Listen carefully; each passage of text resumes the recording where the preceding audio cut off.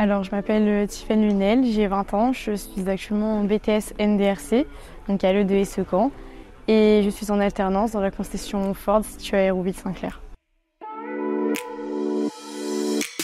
J'ai choisi le marketing et la vente parce que c'est quelque chose qui me permet d'être proche euh, du client, avoir un échange, le pouvoir euh, de négociation. Alors moi je suis au call center. Le call center c'est dans la partie pièces de rechange. C'est une partie euh, qu'on ne connaît pas trop dans les concessions. moi je décroche au téléphone, donc que ce soit professionnel ou particulier et je suis là pour euh, répondre à leurs attentes, procéder à une vente et euh, faire des ventes additionnelles si c'est réalisable, mais principalement pour euh, de l'information et de la vente par téléphone. La relation client négociation-vente, parce que bah, c'est là où il faut être force de proposition, une trame à respectuer mais qui reste quand même assez libre et après c'est force de tout le monde, on a nos arguments et puis bah, c'est à nous de vendre. Il faut déjà beaucoup de confiance en soi parce que les débuts sont compliqués, surtout en étant une femme. C'est vrai que les débuts étaient euh, très durs, personne ne me voulait au téléphone, on ne me fait pas confiance, moi je suis pas capable. Aujourd'hui euh, c'est beaucoup plus simple, euh, les garages sont très contents de m'avoir au téléphone. Après on a aussi créé des liens physiques par rapport aux inaugurations des différentes marques.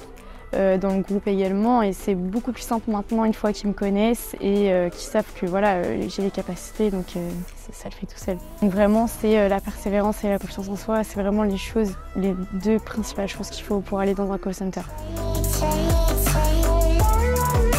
Je me lance dans la Coupe de France féminine de rallycross 2024 et donc ce sera ma première participation. C'est un, un rêve qui se réalise, c'est la concrétisation de beaucoup de travail donc, euh, où ils m'ont aidé, les entreprises également. Et puis, euh, c'est le début d'une longue histoire, euh, je pense. L'automobile, c'est une passion que je tiens de mon papa qui a eu son propre garage et qui a été pilote dans sa vie passée avant une opération. Et donc c'est de là que je tiens à cette passion en étant depuis toute petite dans, dans cet univers qui me plaît beaucoup. C'est une formule de promotion dans le monde du rallycross. Donc, ce sont des courses sur circuit fermé, euh, mi-terre, mi-asphalte. Et en fait, ça se déroule sur un week-end avec des manches qualificatives, demi-finale et finale. Et le but est d'aller le plus loin possible dans le parcours. Et euh, les formules de promotion sont là justement, donc nous pour notre part, euh, à mettre les femmes dans ce monde qui est principalement constitué d'hommes, il faut l'avouer. Donc pousser les femmes à elles aussi tenter leur chance.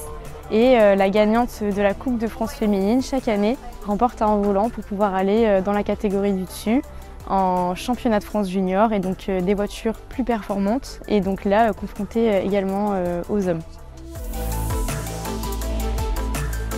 Principalement le fait de se fixer toujours des objectifs, que ce soit dans le sport automobile ou ici en concession, toujours l'objectif de réussir des ventes, que ce soit de la vente de véhicules ou de la vente de pièces, d'atteindre les objectifs qui sont fixés au mois et à l'année. Et vraiment euh, toujours se pousser à aller plus loin parce que forcément tous les ans les objectifs augmentent et tous les ans c'est de plus en plus dur et je pense que c'est le principal point commun, c'est que toujours aller plus loin que ses objectifs.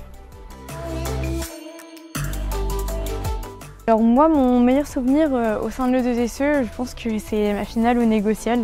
Euh, que j'ai pu euh, réaliser euh, lors de ma première année de BTS. C'est vraiment un très très beau souvenir que j'ai pu rapporter, un très beau parcours et c'est une expérience qui serait chouette à, réaliser encore une fois.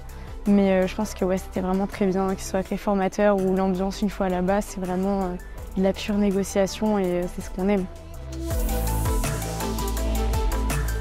Je compte sur vous donc pour euh, me suivre euh, tout au long de cette aventure pendant euh, mon championnat France qui débutera en septembre pour ma part.